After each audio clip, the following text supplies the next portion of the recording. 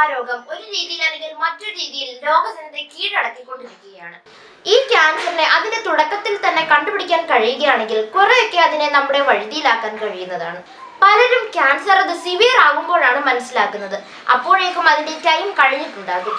Cancer നമ്മുടെ ശരീരത്തിൽ മുള പൊട്ടി തുടങ്ങുമ്പോൾ തന്നെ ചില ലക്ഷണങ്ങൾ നമ്മുടെ ശരീരത്തിൽ കാണിക്കാറുണ്ട്.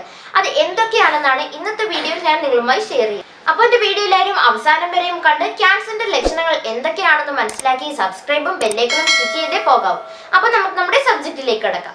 ആദ്യം തന്നെ പറയട്ടെ ചിലരിൽ ചില ലക്ഷണങ്ങൾ ഒന്നും തന്നെ ഇല്ലാതെ ക്യാൻസർ പ്രത്യക്ഷപ്പെടാറുണ്ട്. നമ്മുടെ ശരീരം കാണിക്കുന്ന ചില ലക്ഷണങ്ങൾ ഒരു ഡോക്ടർക്ക് പരിശോധിച്ചാൽ അത് ആണോ എന്ന് ഉറപ്പുവരുത്താൻ കഴിയും. ഒന്നാമതായി നമ്മുടെ കഫത്തിലോ ഉമിനീരിലോ ബ്ലഡിന്റെ അംശം പ്രത്യക്ഷപ്പെടുകയാണെങ്കിൽ നമ്മൾ സംശയിക്കേണ്ടതായിട്ടുണ്ട്. ബ്രോങ്കൈറ്റിസ് പോലെയുള്ള അസുഖമുള്ളവരിലും ഇങ്ങനെ സംഭവിക്കാറുണ്ട്. കൂടാതെ lung cancer neck cancer head cancer എന്നിവയുടെ ലക്ഷണങ്ങൾ കൂടിയാണിവ. ഇങ്ങനെയുള്ള ലക്ഷണങ്ങൾ കണ്ടു തുടങ്ങുമ്പോൾ തന്നെ ഒരു വിദഗ്ധനായ ഡോക്ടറിനെ സമീപിക്കേണ്ടതാണ്. അടുത്തതെന്ന് പറയുന്നത് സാധാരണയിൽ നിന്നും വ്യത്യസ്തമായിട്ടുള്ള ബൗൾ മൂവ്മെന്റ് ആണ്. ഇത് നമ്മൾ സംശയിക്കേണ്ടതായിട്ടുണ്ട്. അതായത് പെൻസിൽ തിന്നായിട്ടുള്ള ബൗൾ മൂവ്മെന്റ് ആണ്. ഇത് കോളൻ ക്യാൻസറിന് സംശയിക്കേണ്ടതായിട്ടുണ്ട്. ചിലരിൽ തുടർച്ചയായി വയറിളക്കം ഉണ്ടായിക്കൊണ്ടേയിരിക്കും. ഇത് ക്യാൻസറിന്റെ ലക്ഷണങ്ങളിൽ ഒന്നാണ്.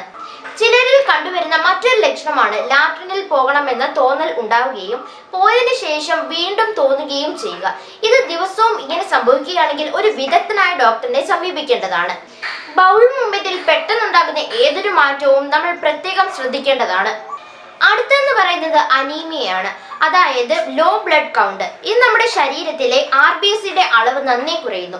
ഇങ്ങനെ സംഭവിക്കുമ്പോൾ ഒരു വിദഗ്ധനായ ഡോക്ടറുടെ നിർദ്ദേശം തേടേണ്ടതാണ്. അനീമിയയ്ക്ക് പല കാരണങ്ങളും ഉണ്ടാകാറുണ്ട്. അകാരണമായി ബ്ലഡ് നഷ്ടപ്പെടുകയും അതുവഴി അയൺ ഡെഫിഷ്യൻസി ഉണ്ടാവുകയും അത് ക്യാൻസറിന് വഴിയൊരുക്കുകയും ചെയ്യുന്നു. അടുത്ത ഒരു പ്രധാനപ്പെട്ട ലക്ഷണം എന്ന് പറയുന്നത് മലത്തിൽ ബ്ലഡ് പ്രത്യക്ഷപ്പെടുക എന്നതാണ്. ഹെമറോയിഡ്സ് ഉണ്ടെങ്കിലും മലത്തിൽ രക്തം പ്രത്യക്ഷപ്പെടാറുണ്ട്. എന്നിരുന്നാലും ഒരു ഡോക്ടറിനെ സമീപിച്ച് ഉറപ്പുവരുത്തേണ്ടത് അത്യാവശ്യമാണ്. കൊളോനോസ്കോപ്പിയോ എക്സ്റേയോ എടുത്ത് അത് ഡോക്ടർ ഉറപ്പുവരുത്തുന്നതായിരിക്കും. അടുത്തത് സാധാരണയിൽ നിന്നും വ്യത്യസ്തമായിട്ടുള്ള തടിപ്പോ മുഴയോ ഉണ്ടെങ്കിൽ സംശയിക്കേണ്ടതായിട്ടുണ്ട്. എല്ലാ മുഴകളും ക്യാൻസർ ആകണമെന്നില്ല. എന്നിരുന്നാലും മൊത്തത്തിലൊന്ന് ഇവാലുവേറ്റ് ചെയ്യേണ്ടത് അത്യാവശ്യമാണ്.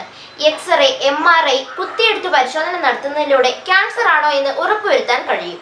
അതിനാൽ പെണ്ണുങ്ങൾ മാസത്തിൽ ഒരിക്കൽ സ്വന്തമായി ബ്രസ്റ്റിൽ പതിവിൽ നിന്നും വ്യത്യസ്തമായി എന്തെങ്കിലും ഉണ്ടോ എന്ന് പരിശോധിക്കേണ്ടതാണ്. ശരീരം കാണിക്കുന്ന മറ്റൊരു ലക്ഷണമാണ് മൂത്രമൊഴിക്കുന്നതിൽ വ്യത്യസ്തത അനുഭവപ്പെടുക. അതായത് മൂത്രശങ്ക കുറച്ച് മൂത്രം പോകുക ചെറുതായി മൂത്രം പോകുക ഇതെല്ലാം ശ്രദ്ധിക്കേണ്ട കാര്യങ്ങളാണ്. ഇതൊരു പക്ഷേ പ്രോസ്റ്റേറ്റ് ക്യാൻസറിന്റെ ലക്ഷണങ്ങളാകാം. ഇത് യൂറിനറി ഇൻഫെക്ഷൻ ഉണ്ടായാലും ഇതേ ലക്ഷണങ്ങൾ തന്നെയാണ് കാണിക്കുന്നത്.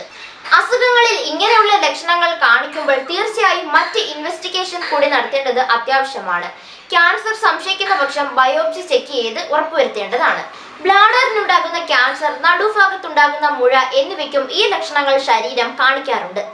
ആണുങ്ങളിൽ ടെസ്റ്റിക്കിൾസിൽ വേദനയില്ലാത്ത മുഴ തടിപ്പ് എന്നിവയുണ്ടെങ്കിൽ ശ്രദ്ധിക്കേണ്ടതായിട്ടുണ്ട്. ഒരുപക്ഷെ ടെസ്റ്റിക്കിൾസിൽ ഉണ്ടാകുന്ന ക്യാൻസർ ആകാം. അതിനാൽ ആണുങ്ങൾ സെൽഫായിട്ട് തന്നെ മാസത്തിൽ ഒരിക്കൽ ടെസ്റ്റിക്കിൾ പരിശോധന നടത്തേണ്ടത് അത്യാവശ്യമാണ്. അടുത്തത് നിങ്ങളുടെ പീരീഡ് അബ്നോർമലായിട്ടാണ് ഉണ്ടാകാറുണ്ടെങ്കിൽ തീർച്ചയായും ഒരു വിദഗ്ധനായ ഡോക്ടറിനെ സമീപിക്കേണ്ടതാണ്. ഇതൊരു പക്ഷേ സെർവിക്കൽ യൂട്രൈൻ അല്ലെങ്കിൽ ഒവേറിയൻ ക്യാൻസറിന് തുടക്കമായിരിക്കാം. അടുത്തെന്ന് പറയുന്നത് തലവേദനയാണ്. തുടർച്ചയായി രണ്ടാഴ്ച തലവേദന നിൽക്കുകയാണെങ്കിൽ മരുന്നൊന്നും കഴിച്ചിട്ടും കുറവില്ലെങ്കിൽ അത് ശ്രദ്ധിക്കേണ്ടതായിട്ടുണ്ട്. ഇത് ഒരു പക്ഷേ ബ്രെയിൻ ട്യൂമറിന്റെ തുടക്കമായിരിക്കാം. അടുത്തത് ആഹാരം കഴിക്കുമ്പോൾ വിഴുങ്ങുന്നതിനുള്ള ബുദ്ധിമുട്ടാണ്. ഇത് ലങ്സ് ത്രോട്ട് സ്റ്റൊമക് ക്യാൻസർ എന്നിവയ്ക്ക് തുടക്കമായിരിക്കാം. അടുത്തത് അതികഠിനമായ പനി ഇൻഫെക്ഷൻ ഇത് നമ്മുടെ ഇമ്മ്യൂണിറ്റി സിസ്റ്റത്തെ തകരാറിലാകുമ്പോഴാണ് ഇങ്ങനെ സംഭവിക്കുന്നത്. ഇത് ബ്ലഡ് ക്യാൻസറിന്റെ തുടക്കമായിരിക്കാം. മറ്റൊന്ന് വായ്ക്കുള്ളിൽ സാധാരണയിൽ നിന്നും വ്യത്യസ്തമായിട്ടുള്ള ചവർപ്പ് തടിപ്പ് വേദന എന്നിവയുണ്ടെങ്കിൽ നമ്മൾ ശ്രദ്ധിക്കേണ്ടതായിട്ടുണ്ട്. കാരണം മൗത്ത് ക്യാൻസറിന്റെ ആരംഭമായിരിക്കാം. നമ്മുടെ തൊലിപ്പുറത്ത് വേദനയില്ലാത്ത തടിപ്പ് മറുക് എന്നിവയുണ്ടെങ്കിൽ ഒരു ഡോക്ടറിനെ സമീപിക്കേണ്ടത് അത്യാവശ്യമാണ്. നമ്മുടെ ചർമ്മത്തിൽ മാസത്തിലൊരിക്കൽ പതിവിൽ നിന്നും വ്യത്യസ്തമായി എന്തെങ്കിലും ഉണ്ടോ എന്നത് പരിശോധിക്കേണ്ടതാണ്. ഇങ്ങനെ തുടക്കത്തിൽ തന്നെ മനസ്സിലാക്കാൻ കഴിഞ്ഞാൽ നമുക്ക് നിശേഷം മാറ്റാൻ കഴിയുന്ന ഒന്നാണ് ഇവയെല്ലാം അതിനാൽ നമ്മുടെ ശരീരത്തിൽ പെട്ടെന്നുണ്ടാകുന്ന എന്തെങ്കിലും മാറ്റം മാറ്റമുണ്ടെങ്കിൽ അത് നമ്മൾ ശ്രദ്ധിക്കേണ്ടത് അത്യാവശ്യമാണ്. അപ്പോൾ എന്റെ വീഡിയോ എല്ലാവർക്കും ഇഷ്ടപ്പെട്ടെന്ന് വിശ്വസിക്കുന്നു. ഇഷ്ടപ്പെട്ടിട്ടുള്ളവർ ലൈക്ക് ചെയ്യുക സബ്സ്ക്രൈബ് ചെയ്യുക അടുത്തുള്ള ബെല്ലൈക്കൺ കൂടി ഒന്ന് എനേബിൾ ചെയ്തേക്കാം. അപ്പോൾ ഇതുപോലെയുള്ള വിലപ്പെട്ട ഇൻഫർമേഷനുമായിട്ട് ഞാൻ വീണ്ടും വരുന്നതായിരിക്കും. സ്റ്റേ ട്യൂൺ വിത്ത് ഷെഹുസൈർ മീഡിയ ഗുഡ് ബൈ